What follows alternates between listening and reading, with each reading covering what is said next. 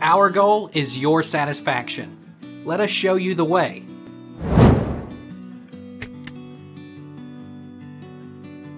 Can retroverted uterus have normal delivery? A tipped uterus should not cause problems and rarely requires treatment. However, some women with retroverted uteri experience pain during intercourse, especially in certain positions. A retroverted uterus does not usually affect a woman's fertility or experience of labor and delivery. Does tilted uterus affect baby bump? Having a tilted uterus. A woman who has a retroverted uterus, Clark said, can develop a baby bump later in the second trimester, when the uterus finally assumes a more typical position. An extremely anteverted uterus, however, may show through a earlier baby bump, especially in multiparous women.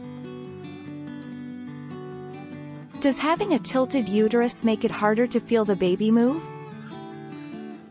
How will a tilted uterus affect my baby? Pregnancy may actually cause your uterus to move forward, and become untilted.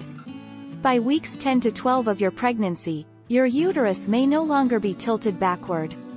Don't worry, the movement of the uterus will not make your pregnancy or delivery difficult. Does having a tilted uterus make it harder to conceive? Does having a tilted uterus make it more difficult to conceive? Answer from Yvonne Butler Tobah, MD.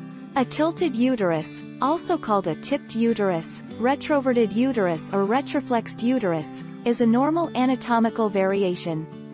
It shouldn't interfere with your ability to conceive. Can you get pregnant with a tilted cervix? Key takeaways. Having a cervix or uterus that tilts back toward your spine is a normal variation of the uterine position in the pelvis. Most of the time, women with a tipped uterus don't have any symptoms at all. A tilted uterus shouldn't have any impact on your ability to get pregnant or deliver a baby.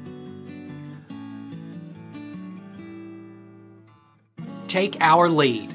Let's help you make your mark.